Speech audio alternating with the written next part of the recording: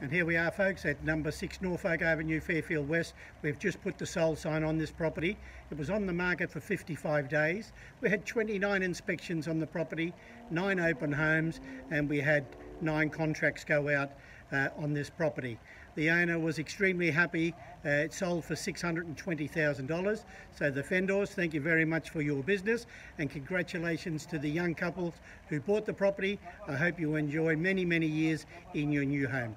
Thanks very much. Have a great day.